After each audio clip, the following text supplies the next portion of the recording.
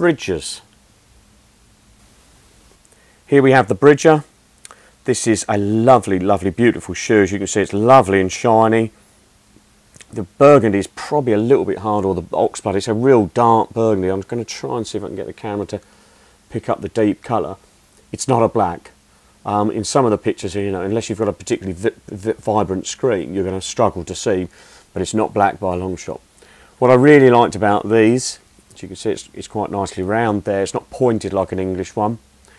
What I also found lovely about these, when I put them on, let's see if I can show that, it made my foot feel smaller, meaning when I wear like a Loake or um, you know a, a, typical English one like you might get in Next or something, they're quite pointed, so it feels like this bit comes out more.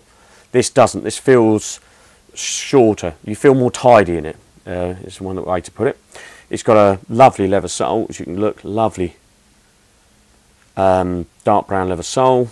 And on the back here, again, it's got the rubber. So if you're a dancer like me, these are excellent because you can spin on them, but you can spin on the front, but the back holds you. Um, not much sure what else to say, except I've worn a pair out, so let me just find mine down here.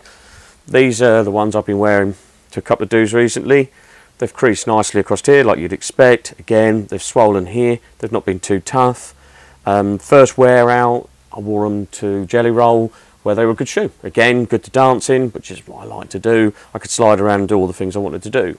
So, let me just put that down. That's, let me get a nice angle on that. Oh, let's try there. That's the Bridger.